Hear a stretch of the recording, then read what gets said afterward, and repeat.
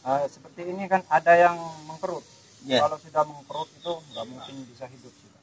Oh, dia nggak bisa keluar tunas Nggak gitu bisa. ya, Pak ya. Seperti mengaduk hatinya mantan iya. Satu bulan setengah sudah segini ini.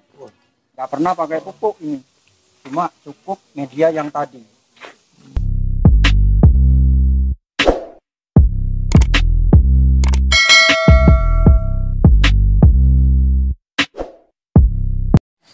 Halo, assalamualaikum teman-teman. Jumpa lagi dengan kami. Eh, saya sendiri ini Mas Anjaria Prasetyo dengan Ideal Bonsai ya.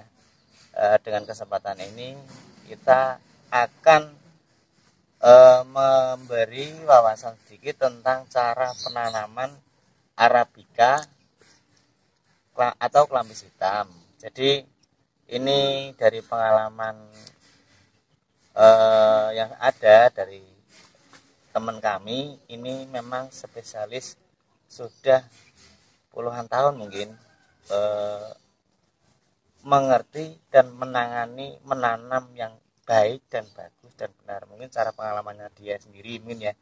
Eh, mari kita tanya-tanya dulu sama Pak Fadi ya. Assalamualaikum Pak Fadi. Eh, ini di kesempatan kali ini kan mau memberi wawasan sama teman-teman biar tahu caranya benar itu eh, cara tanam arabica atau kelampis hitam itu dengan media memakai apa saja Pak mungkin bisa diuraikan dari Pak Fadi sendiri ya Ya, terima kasih sebelumnya. Salam bonsai pada semua pecinta bonsai ya. Terutama pecinta eh, arabica atau kelamis hitam. Banyak kadang orang salah dalam memilih media. Sebenarnya arabica itu atau kelamis ireng ini eh, gampang lah cara pemilihan media ya. Yang pertama kita pakai pasir malang. Seharusnya pasir malang karena nggak ada pasir malang kita pakai pasir sungai ya caranya. Yang kedua kita pakai pupuk kandang. Ya. Yang ketiga kita pakai sekam. sekam yang udah busuk apa sekam yang masih bagus baru nggak Ya, masalah itu Pak Seharusnya yang sudah busuk. Oh. Tapi berhubung nggak ada ya seadanya lah. seadanya Ya. Soalnya arabica ini nggak terlalu ruwet ya. Gampang kok arabica ini. Bikin gampang saja. kadang tuh kan orang tuh apa ya eh nggak tahu cara nanamnya apa gimana detailnya terus nanti akhirnya mati dan lain sebagainya itu kan eh, itu dari cara tekniknya saja mungkin bisa diuraikan sama Pak Fadi nanti mungkin di apa di itu cara nanamnya bahannya milih bahannya seperti apa gitu kan nanti Pak Fadi bisa diuraikan lagi monggo Pak Fadi Yang pertama ya, ya, kita cari bahan dulu. oh iya. Seperti ini bahannya ya. bahan dongelan ya Pak Ya, dongkel ini. Kita lihat dulu pohon itu. Eh, seperti ini kan ada yang mengkerut. Ya. Kalau sudah mengkerut itu nggak mungkin bisa hidup sudah. Oh, dia nggak bisa keluar tunas Nggak gitu bisa. ya, Pak ya. Hidup kadang cuma sebentar, sisa-sisa kambing Ah. apa itu makanan. Oh, Ya, makanan. jalannya nanti. Ya. Kadang yang jadi faktor paling fatal itu adalah media, Mas. Oh, gitu. Iya. Eh, ada arabica pertama kita tanam subur. Iya. Sesudah itu lambat laun dia eh, mulai turun turun turun stres gitu. akhirnya masuk. Itu dari faktor media. Kesalahan Dari media, media. tanamnya. Iya. Cara tanamnya Pak, monggo. Yang pertama ini seperti saya bilang tadi ya pasir sungai karena tidak ada pasir malang. Nah, sebenarnya lebih bagus pasir malang. Dan Oh, seadanya sajalah ya. Iya. Sederhana ini ya, Iya, Pak. seadanya. Ini eh, pupuk kandang ya sama sekam. Kita campur saja sudah. Seperti ini ya. Diaduk-aduk jadi satu ya, Pak. Diaduk-aduk seperti mengaduk hatinya mantan. mantap, mantap, mantap. Eh, Arabica itu juga ini. bandel. bandel kayak mantan juga itu, Pak. Bandel Arabica ini bebas. Ya. Kalau kita pakainya tanah biasa itu mas, ya. Memang subur awalnya, cuma ke belakangnya kurang. Kalau pakai ini akan terus-terusan suburnya. Saya jarang pakai pupuk. Kan Oh. ada orang pakai pupuk ini, Iya. pupuk itu kalau saya enggak cukup ini saja lah yang alami Oh, Ini saya. Pak. Jadi menurut pengalaman Bapak ini ya yang Iya. sudah dijalankan Iya. sudah berpuluh-puluh tahun mungkin eh, dengan bisa adanya kejenjang kesuksesan ini ya Pak ya. Iya. bisa diuraikan sama teman-teman. Ini benar-benar ilmu teman-teman. Kita organik bisa alami itu. wawasan dari Pak Fadi ini. Dia pematik juga dan dia itu eh, kolektor juga. Seringkalinya bahan jadi bahan kurang belum jadi. Bahan dongkelan dia juga jualan juga ya Pak. Dari harga minim sampai harga ke ratusan juta teman-teman. Ya macam-macam lah. Mungkin bisa nanti pemesanan atau apa langsung saja yang di deskripsi kami nantinya akan saya isi. Ya? Ya. Kita tanam. Oke, kita siapkan potnya dulu ya Pak. Kita harusnya pakai saringan ya. Berhubung tidak ada saringan pakai karung. Yang simpel-simpel saja. Ya sederhana ya intinya agar media nggak turun ini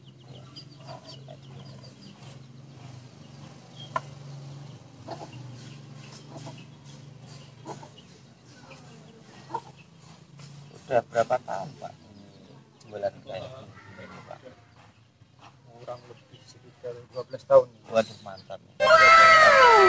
Ya, sudah tahu men- cara menanganinya seperti apa itu? Jelas ini kan lebih jelas lagi kita dipraktekkan dan dikasih tahu memilih bahan. Oke kita putar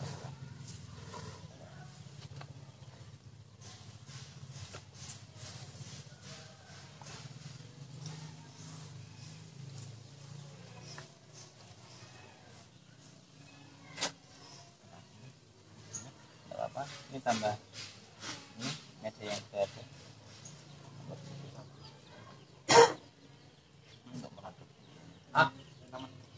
ada gini ya?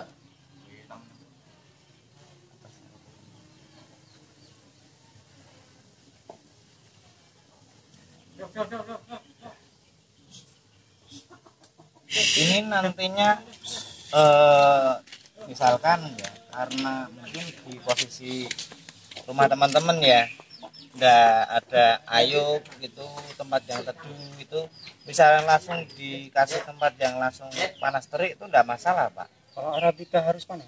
Oh gitu. Harus. Dia memang harus panas ya pak. Harus. Terutama dari dongkel harus panas kayak gini. Nggak usah pakai disungkup oh gitu. Nah, kebanyakan orang kan pakai disungkup oh sungkup plastik seperti nanam pohon serut ya. Iya. kalau arabica enggak begitu. kalau kita sungkup bener dia terubus tunas. Mungkin berapa senti nanti kalau sudah dibuka dia mundur. Kalau arabica kayak itu Se- menurut pengalaman saya oh gitu. setiap orang kan beda-beda. Iya iya. itu pengalaman saya jadi tidak usah pakai sungguh juga ya kan perlu. pak ini tipsnya lebih jelas ceto tor welo welo bapak eh pak Fadi. Eh, mungkin ini langsung nanti siram kasih air ya pak ya tinggal Iya. kasih air. Tinggal siram mau ditaruh mana tempat lokasi teman-teman fleksibel enggak apa-apa. Ini katanya bandel kayak anak kecil itu kalau bandel gimana itu ya pak Iya. Intinya Contoh. kalau arabica ini kalau di bawah terik matahari kalau bisa sehari dua kali siramnya pagi atau malam. Oh gitu. Lebih subur dia.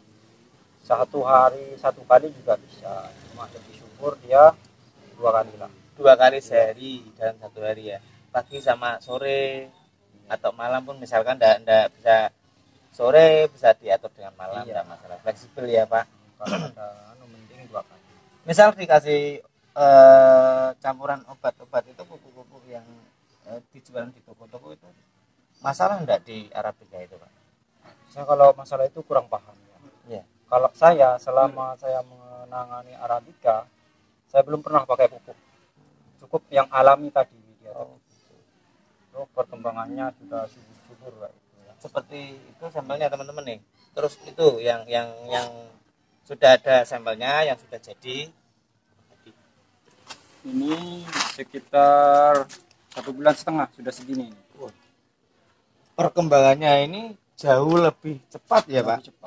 daripada serut atau apa ya pak lebih cepat ini baru satu bulan setengah perkiraan. Sudah sebulan setengah, sudah segitu- segitu. mulai dari penanaman seperti ini. Oh, dari penanaman tadi terus di, dibiarkan gini sampai satu bulan setengah sudah per- perjalanan sudah jauh teman-teman. Iya, ini mulai dari penanaman tidak pernah ditaruh di tempat teduh, tidak pernah disungkup langsung. oh los gitu Oh, ya? iya, los. mantap mantap. Intinya kalau Arabica itu suka tempat yang terbuka, oh gitu seperti suatu hubungan.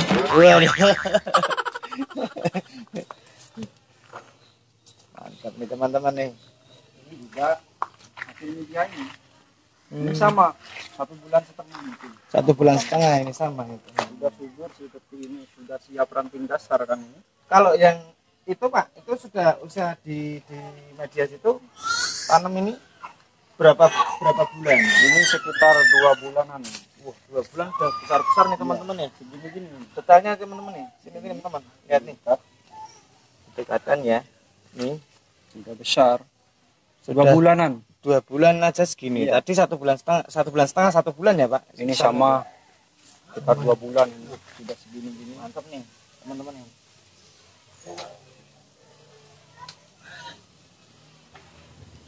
Kalau Arabica ini cepat pertumbuhannya cepat. Cuma berduri. kalau kalau untuk cara pengawatannya nanti itu kan durinya dihilangkan dulu Iya. baru nanti kita ditangani gitu ya pak oh ya jadi lebih dipahami lagi jangan takut-takut untuk untuk takut eh, kita cari bahan arabica Kalau yang sudah jadi seperti ini. Ini, Ini- hasil media dari tadi. ini udah dipesan sama orang ya pak Ini punya Sudah orang. Semarang, Pak Oh. Condro. oh punya pak Nah, Condro ya ini hasil medianya dari tadi. Nggak pernah pakai pupuk ini. Cuma cukup media yang tadi.